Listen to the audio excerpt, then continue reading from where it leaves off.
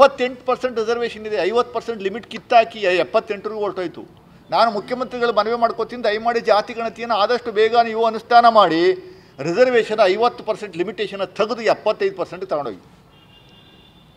Raise the limitation of reservation limitation cap ಏನಿದೆ, ಐವತ್ತು percent ಕಿತ್ತಾಕಿ. Supreme ಕೋರ್ಟ್ಗೆ ಹೋದ್ರೆ ನೋಡೋಣ. ಸುಪ್ರೀಂ ಕೋರ್ಟ್ಗೆ ಹೋಗಿ ಆಗಲೇ ಇಪ್ಪತ್ತೈದು ವರ್ಷ ಆಯಿತು, ತಮಿಳುನಾಡು ವಿರುದ್ಧ ಏನಾಗಿದೆ? ಅವ್ರು ಮಾಡ್ತಲೇ ಅವರಲ್ಲ. ಎಪ್ಪತ್ತೈದು ಪರ್ಸೆಂಟ್ವರೆಗೂ ರಿಸರ್ವೇಷನ್ ತಗೊಂಡೋಗಿ ನೂರಕ್ಕೂ ನೂರಷ್ಟು ಒಕ್ಕಲಿಗ ಸಮುದಾಯಕ್ಕೆ ಮತ್ತು ಲಿಂಗಾಯತ ಸಮುದಾಯಕ್ಕೆ ಇದ್ರ ಬೆನಿಫಿಟ್ ಇದೆ. ನಿಮ್ಮ ಅಪ್ರೆನ್ಷನ್ ಏನು ಅಂದರೆ ಲಿಂಗಾಯತ ಸಮುದಾಯ ತಗೊಂಡ್ರೆ ಅದರಲ್ಲಿ ಎಂಟತ್ತು ಜಾತಿಗಳು ಒಳಪಂಗಡಗಳು ಬರ್ತವೆ. ಪಂಚಮಿ ಶಾಲಿನೇ ಬೇರೆ, ಗೌಡ್ ಲಿಂಗಾಯತೆ ಬೇರೆ, ಇನ್ಯಾರೋ ಲಿಂಗಾಯತರು ಬೇರೆ, ಅವೆಲ್ಲ ಸಪ್ರೇಟ್ ಸಪ್ರೇಟ್ ಆಗಿರೋದ್ರಿಂದ ನಮ್ಮ ನಮ್ಮ ಸಂಖ್ಯೆ ಕಮ್ಮಿ ಇದೆ ಅಂತ ಬಿಂಬಿಸುವಂಥ ಕೆಲಸವನ್ನು, ನಿಮ್ಮ ಸಂಖ್ಯೆ ಕಮ್ಮಿ ಇದೆ ಅಂತ ಬಿಂಬಿಸುವಂಥ ಕೆಲಸ ಆಗಲ್ಲ ರೀ ಇಲ್ಲಿ. ಅದ್ರ ಬೇಸಿಸ್ ಮೇಲೆ, ಸಂಖ್ಯೆ ಆಧಾರದ ಮೇಲೆ ನಿಮಗೆ ರಿಸರ್ವೇಷನ್ ಮತ್ತೊಂದು ಜಾಬು, ಅದು ಇದು ಕೆಲಸ ಕೊಡುವಂಥದ್ದು ಇಲ್ಲ ಇಲ್ಲಿ. ಎಲ್ಲ ಒಳಪಂಗಡಗಳಿಗೂ ಇಂಟರ್ನಲ್ ರಿಸರ್ವೇಷನ್ ಮೂಲಕ ನಿಮ್ಗೆ ಅವಕಾಶ ಸಿಗುವಂಥದ್ದು. ಪಂಚಮಶಾಲಿಯವ್ರಿಗೂ ಸಿಗ್ತಾರೆ, ಇನ್ಯಾರಿಗೂ ಕಮ್ಯುನಿಟಿಯವ್ರಿಗೂ ಸಿಗುತ್ತೆ, ಗೌಡ್ ಲಿಂಗಾಯತ್ರಿಗೂ ಸಿಗ್ತದೆ, ವೀರಶೈವ ಲಿಂಗಾಯತ್ರಿಗೂ ಸಿಗುತ್ತೆ. ಅದರಿಂದ ದಯಮಾಡಿ ತಿಳ್ಕೊಂಡೇನೆ, ರಾಜಕೀಯವಾಗಿ ಇದನ್ನು ವಿರೋಧ ಮಾಡುವಂಥ ಕೆಲಸವನ್ನು ಮಾಡಬೇಡಿ. ಈಗ ಮಾಡಲಿಲ್ಲ ಅಂದರೆ it cannot be done in future at all it will not be done in future ಇದು ಎಲ್ಲರಿಗೂ ಅನುಕೂಲ ಆಗುತ್ತೆ.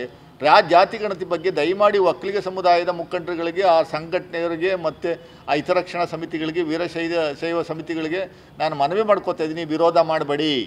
ನಿಮ್ಗೇನಾದರೂ ರಿಸರ್ವೇಷನ್ ಇದ್ದು ಏನಾದರೂ ನಂಬಿಕೆ ಅದರಲ್ಲಿ ಏನಾದರೂ ಬರದೇ ಇರುವಂಥದ್ದು ಒಂದು ಅಂಶಗಳಿದ್ದರೆ ಅದನ್ನು ದಯಮಾಡಿ ಹೋಗಿ ಕೂತು ಚರ್ಚೆ ಮಾಡಿ, ಅದ್ರ ಮೇಲೆ ಡಿಸ್ಕಷನ್ ಮಾಡಿ, ಆಮೇಲೆ ಅದನ್ನು ಒಪ್ಕೊಳ್ಳೋವಂಥ ಕೆಲಸವನ್ನು ಮಾಡಬೇಕು. ಇದು ಗೋಲ್ಡನ್ ಅಪರ್ಚುನಿಟಿ ನೂರೈವತ್ತರಿಂದ ಇನ್ನೂರು ಕೋಟಿವರೆಗೂ ಖರ್ಚು ಮಾಡಿದ್ದೀವಿ.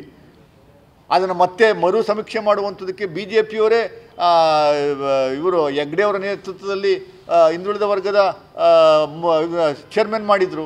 ಅವರು ರೆಪೋರ್ಟನ್ನು ಕೊಟ್ಟರು. ನಾವು ನಮ್ಮ ಸರ್ಕಾರ ಬಂದ ಮೇಲೆ ರಿಪೋರ್ಟ್ನ ಕೊಟ್ಟು ಅದನ್ನು ಅನುಷ್ಠಾನ ಮಾಡೇ ಮಾಡ್ತೀವಿ.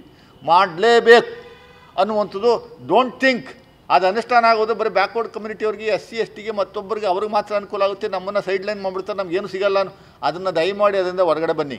ಅದು ಕಿತ್ತಾಕಿ. ಎಲ್ರಿಗೂ ಅನುಕೂಲ ಆಗುತ್ತೆ. ಇಡೀ ದೇಶಾದ್ಯಂತ ಜಾರಿಗೆ ಬರಬೇಕು. ಬಿಹಾರಲ್ಲಿ ಜಾರಿ ಮಾಡಿದ್ರು.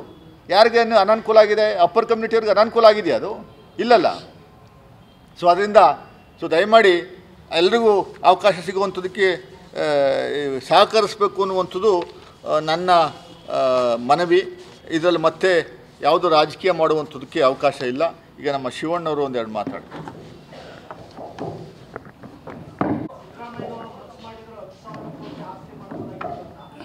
ಈ ತಾನೇ ವಿಶ್ವನಾಥ್ ಅವರು ಹೇಳಿದ್ರು ಬೆಂಗಳೂರಿನಲ್ಲಿ ಮಗ ಮತ್ತು ಹೊಸ ಹೆಸರಿನಲ್ಲಿ ಮುನ್ನೂರೈವತ್ತು ಕೋಟಿದು ಒಂದು ಪಬ್ ಇದೆ ಅಂತ ಸ್ವಲ್ಪ ಬಾಡಿಗೆ ಬರುತ್ತೆ ಅಂತ.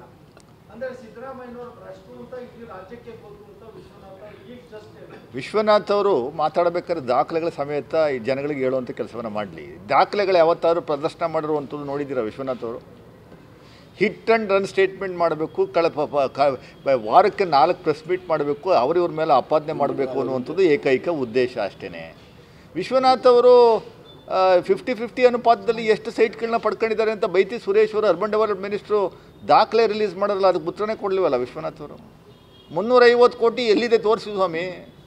ದಾಖಲೆ ಕೊಡಿ, ಯಾವ ಸರ್ವೆ ನಂಬರು, ಯಾವ ಸೈಟ್ ನಂಬರು, ಯಾವ ಏರಿಯಾ, ಎಲ್ಲಿ ನಡೀತಾ ಇದೆ? ಒಂಚೂರು ಹೇಳಿ. ವಿಶ್ವನಾಥ್ ಅವರೇ, ಬಾಯಿ ಚಪಲಕ್ಕೋಸ್ಕರ ಏನೇನೋ ಬಾಯಿಗೆ ಬಂದಂಗೆಲ್ಲ ಮಾತಾಡ್ಕೊಂಡು ಎಲ್ಲರ ಮೇಲೂ ಆಪಾದನೆ ಮಾಡ್ಕೊಂಡು ಹೋಗುವಂಥ ವ್ಯವಸ್ಥೆಯನ್ನು ಬಿಡಬೇಕು. ನಿಮ್ದು ಏನಾದರೂ ಇದ್ದರೆ ದಯಮಾಡಿ ದಾಖಲೆಗಳ ಸಮೇತ ಕೊಡಿ, ಅದಕ್ಕೆ ದಾಖಲೆಗಳ ಸಮೇತ ನಾವು ಉತ್ತರ ಕೊಡ್ತೀವಿ. ಈ ಥರ ಲೂಸ್ ಲೂಸ್ ಟಾಕ್ನ ನಿಲ್ಲಿಸ್ಬೇಕು ಇದೆಲ್ಲ ಹಿಂದೆಲ್ಲ ನೀವು ಯಾರ್ಯಾರ ವಿರುದ್ಧ ಏನೇನು ಮಾತಾಡಿದ್ದೀರಿ ಅನ್ನುವಂಥದ್ದು ಎಲ್ರಿಗೂ ಗೊತ್ತಿರುವಂಥ ವಿಚಾರ. ಯಾರನ್ನು ಬಿಟ್ಟಿದ್ದೀರಾ ನೀವು? ಎಲ್ಲರ ವಿರುದ್ಧನೂ ಮಾತಾಡೋಕ್ಕೆ ಅಂತಲೇ ಪ್ರೆಸ್ ಮೀಟ್ ಕರಿತೀರಿ ನೀವು. ಪ್ರೆಸ್ ಮೀಟ್ ಕರೆದು ಬಾಯಿಗೆ ಬಂದಂಗೆಲ್ಲ ಮಾತಾಡೋದು, ಜಾಗ ಖಾಲಿ ಮಾಡೋದು. ಅದೇ ವ್ಯವಸ್ಥೆ. ಯಾವುದನ್ನ ಒಂದು ತಾರ್ಕಿಕ ಅಂತಿಕೆ ಯಾವುದನ್ನ ಎಲ್ಲಾದರೂ ಒಂದು ಕಡೆ ಆಯಿತು, ಇಡಿ ಕೊಡಿ. ಲೋಕಾಯುಕ್ತಕ್ಕೆ ಕೊಡಿ, ನಿಮ್ದು ಏನಾದರೂ ಇದ್ದರೆ ಯಾರ ವಿರುದ್ಧ ಏನಾದರೂ ಇದ್ದರೆ ದಾಖಲೆಗಳ ಸಮೇತ ಕಂಪ್ಲೇಂಟ್ ಆದಿ ಯಾಕೆ ಕೊಡಿ ಈ ಆರ್ ಟಿ ಐ ಕಾರ್ಯಕರ್ತರ ಮೂಲಕ ಯಾಕೆ ಕೊಡಿಸ್ತಾ ಇದ್ದೀರಾ? ಈ ಯಾರು ಗಂಗರಾಜು ಅನ್ನೋನು ಯಾರ ಶಿಷ್ಯ? ಈ ಗಂಗರಾಜು ಯಾರು ಶಿಷ್ಯ? ಆರ್ ಟಿ ಐ ಕಾರ್ಯಕರ್ತ ಗಂಗರಾಜು ಯಾರು ಶಿಷ್ಯ? ಸ್ನೇಹಮಯ ಕೃಷ್ಣ ಯಾರು ಶಿಷ್ಯ? ಯಾರೋ ಇನ್ನೊಬ್ರು ನಟರಾಜು ಯಾರು ಶಿಷ್ಯ? ಮೂರು ಜನನೂ ಕೂರಿಸ್ಕೊಂಡು ಮೂಡ ಮುಂದ್ಗಡೆ ಒಂದು ಪ್ರೆಸ್ ಮೀಟ್ ಮಾಡಿದ್ರಲ್ಲ ವಿಶ್ವನಾಥ್ ಅವರೇ? ನಿಮಗೆಲ್ಲ ಮಾಹಿತಿ ಇದೆಯಲ್ವಾ? ಯಾಕೆ ನೀವು ನಿಮ್ಮ ಹೆಸರಿನಲ್ಲೇ ಕೊಡಿ ಬೇರೆ ಮಕ್ಳುಗಳನ್ನ ಯಾಕೆ ಬಾಯಿಗೆ ತಳ್ಳಿಬಿಟ್ಟು ಆಳೆ ನೋಡ್ತಾ ಇದ್ದೀರಿ? ಅವ್ನು ಯಾರು ಗಂಗರಾಜು, ಅವರು ಇವ್ರನ್ನೆಲ್ಲ? ಏನು ಅಂತ ಹೇಳಿ, ದಯಮಾಡಿ. ಕೊರೋನಾ ಕಾನ್ಶಿಯನ್ಸಲ್ಲಿ ನಾನ್ನೂರು ಐನೂರು ಕೋಟಿ ಪ್ರಾಜೆಕ್ಟ್ನ ಪಾಪ ಅವರು, ಸಾಹೇಬರು ನೆನೆ ಉದ್ಘಾಟನೆ ಮಾಡೋಕ್ಕೆ ಹೋದ್ರೆ ಅದಕ್ಕೊಂದು ವಿಘ್ನ. ಅವನ್ಯಾರ ನಟರಾಜನೂ ಗವರ್ನರ್ಗೆ ಪತ್ರ ಬರೀತಾನೆ, ಇದು ಮಾಡಬಾರ್ದು ಅಂತ. ಪ್ರತಿ ಕ್ಷೇತ್ರಕ್ಕೂ ಒಂದೊಂದುವರೆ ಸಾವಿರ, ಎರಡು ಸಾವಿರ ಕೋಟಿ ಕೊಟ್ಟಿದ್ದಾರೆ ಆಲ್ರೆಡಿ ಸಿದ್ದರಾಮಯ್ಯವರು ಮುಖ್ಯಮಂತ್ರಿಗಳಾಗಿ. ಎರಡು ಸಾವಿರದ ಹದಿಮೂರಿಂದ ಹದಿನೆಂಟಕ್ಕೆ, ಹದಿನೆಂಟರಲ್ಲಿ ಅವಧಿಯಲ್ಲಿ ಮೈಸೂರು ಸಿಟಿ ಡೆವಲಪ್ಮೆಂಟ್ಗೆ ಮೂರು ಸಾವಿರದ ಎಂಟುನೂರು ಕೋಟಿ ಕೊಟ್ಟಿರೋದು. ಮೈಸೂರು ಜಿಲ್ಲೆ ಡೆವಲಪ್ಮೆಂಟ್ಗೆ ಇಪ್ಪತ್ತೆರಡು ಸಾವಿರ ಕೋಟಿ ಕೊಟ್ಟಿರೋದು. ಈಗ ನಾಳೆಯಿಂದ ನಾಳೆಯಿಂದ ಉದ್ಘಾಟನೆ ಮಹಾರಾಣಿ ಕಾಲೇಜು. ಒಳಗಡೆ ಇನ್ನೂರ, ಇನ್ನೂರೈವತ್ತು ಕೋಟಿ ಹಣವನ್ನು ಕೊಡ್ತಾ ಇದ್ದಾರೆ. ಹಾಸ್ಟೆಲ್ಲು, ಶಂಕುಸ್ಥಾಪನೆ. ಹಾಸ್ಟೆಲ್ಲು, ಸೈನ್ಸ್ ಕಾಲೇಜು, ಮತ್ತು ಬೇರೆ ವಿವಿಧ ಕಾಮಗಾರಿಗಳನ್ನ. ನೀವು ಏನು ಮಾಡಿದ್ರೂ ಕಿದ್ವಾಯ್ ಆಸ್ಪತ್ರೆ ಎಲ್ಲ ನಿರ್ಮಾಣ ಆಗೋವಂಥದಕ್ಕೆ ಹಂತದಲ್ಲಿ ನಾವು ಅಲ್ಲಿ ಶುರು ಮಾಡಿದ್ದೀವಿ. ಏನಾದರೂ ಮೈಸೂರಿಗೆ ಸಪ್ರೇ ಪ್ರತ್ಯೇಕವಾದ ಕೊಡುಗೆಯನ್ನು ಕೊಡುವಂಥ ಒಂದು ವ್ಯವಸ್ಥೆ ಸಿದ್ದರಾಮಯ್ಯ ಸಾಹೇಬರು ನಿರ್ಮಾಣ ಮಾಡ್ಕೊಂಡಿದ್ದಾರೆ. ಜನಗಳು ಓಟ್ ಹಾಕಲಿ ಓಟ್ ಹಾಕದೇ ಇರಲಿ ಓಟ್ ಹಾಕುವಂಥ ವಿಚಾರಕ್ಕೆ ಆದಿ ಇದನ್ನಿಟ್ಕೊಂಡು ನಾವು ಕೆಲಸ ಮಾಡುವಂಥದ್ದು ಸಿದ್ದರಾಮಯ್ಯನವರಲ್ಲಿ ಇಲ್ಲ. ಸೊ, ನೂರಕ್ಕೆ ನೂರಷ್ಟು ಅಭಿವೃದ್ಧಿ ಏನು ಮಾಡಬೇಕು ಸಿದ್ದರಾಮಯ್ಯ ಸಾಹೇಬರು ಮುಖ್ಯಮಂತ್ರಿಗಳಾಗಿರೋವರೆಗೂ ಅಷ್ಟರೊಳಗಡೆ ಎಲ್ಲವನ್ನು ಮಾಡ್ತಾರೆ.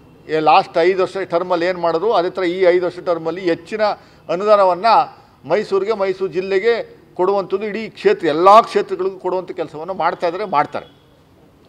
ಹೆಚ್ಚಿನ ವಿಡಿಯೋಗಳಿಗೆ ಪ್ರತಿಧ್ವನಿ ಯೂಟ್ಯೂಬ್ ಚಾನೆಲ್ ಸಬ್ಸ್ಕ್ರೈಬ್ ಮಾಡಿ ಬೆಲ್ ಐಕಾನ್ ಕ್ಲಿಕ್ ಮಾಡಿ.